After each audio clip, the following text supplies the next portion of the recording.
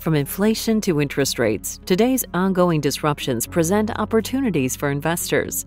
In this series, our portfolio managers explore how PIMCO's deep expertise across public and private markets gives investors the flexibility to navigate the ever evolving landscape. Few entities around the globe can deploy multiple billion dollars at one time if the analysis proves that there's an opportunity for our clients. The reason we are able to take that size is the integrated nature of our platform, right? Like such a large transaction, they will quickly go to the investment committee where the investment committee you know, uh, uh, can make that decision with the help of all the experts if there's an opportunity that is pertinent for public side uh, or even private side. The fact that you know, it can be discussed uh, across multiple larger strategies at PIMCO, th those pools of assets can uh, be, be brought in together to take advantage of that opportunity. Right, it goes to how the teams are constructed right? The, the, the, integrated analyst team, the integrated portfolio management team, in, information's not sort of segmented and compartmented in that way. Here it really is one team. And so when there's a scale trade and the risk reward fits multiple vehicles, it's our job to find those homes as effectively as we can to serve our clients. One of the hung deal transactions that we worked on last year, we came up with an idea of trying to tackle this hung position for the bank syndicate.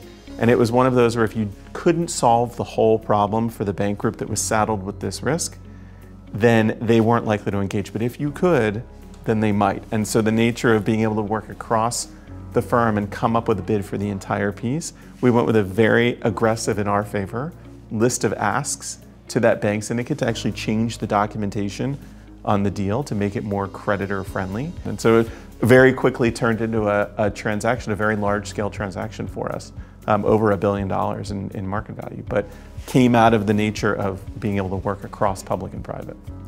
And then uh, I think the few things that come to mind are particularly during the post-COVID period. So this is like March, April, May 2020, when a certain sector, travel and transportation related, was very heavily hit, had very high liquidity needs in the short term because there was no revenue generation, nobody was traveling.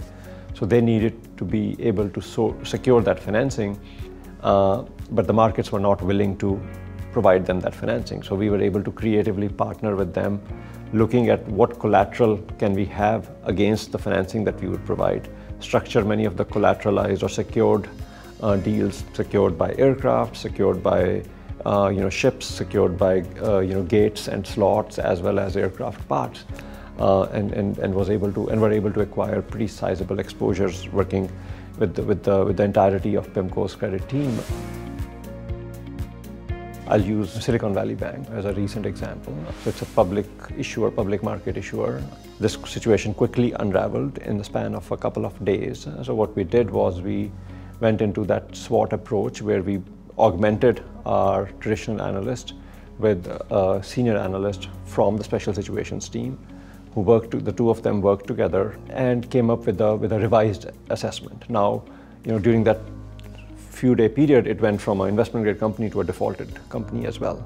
Um, you know, in many of the traditional portfolios, what we saw was investors selling left, right, and center.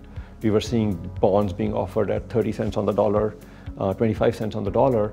Uh, and our analysis with this approach was that you know, we think the recovery could be higher once we did the analysis. And you know, for some of our flexible strategies, using that partnered approach, we're able to acquire exposures um, that have since rallied from 30 to 60 cents instead of us having to sell in our traditional strategies at 30 cents. In a situation like that, while it was unfolding and while the team was analyzing what we thought the value of the structure would be, we were also deeply engaged in trying to buy assets or provide financing to other partners, parties who might be trying to buy assets. So we had kind of discussions going on on every front.